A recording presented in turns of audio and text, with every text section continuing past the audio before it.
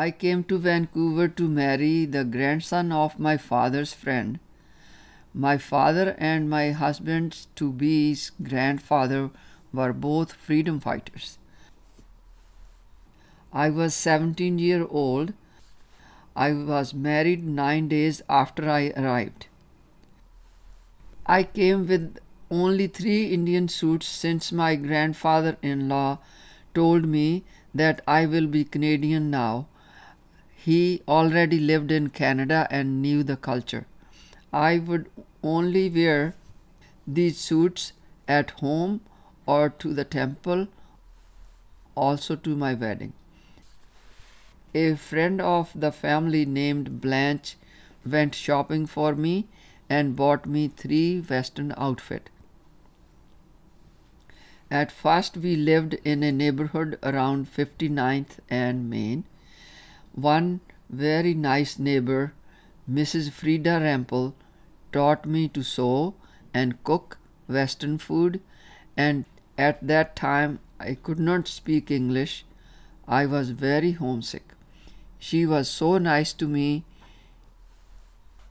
In 1972, I attended a meeting at Raminder Dosanjh's home with the idea to create a movement where Canadian South Asian women could have a voice. In India, when I was 14, I went house to house with elder women signing a petition against war. I was brought up in a political environment.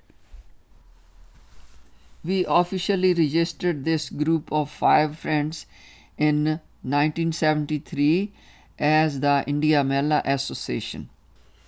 Around this time, we started to volunteer our time and share Indian culture in Vancouver.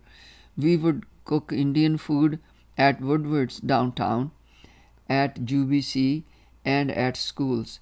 We would demonstrate how to wear turbans and saris. India Mahila dance group even put on dance shows we celebrate our shared culture heritage and work on women's rights, especially racism, sexism, and violence against women. Now we have celebrated 38 years of volunteer service for the equality of women. I have also been married 56 years. I'm really happy to have achieved this beautiful environment Nature has given me the strength to come up to this point with hundreds of friends and wonderful community.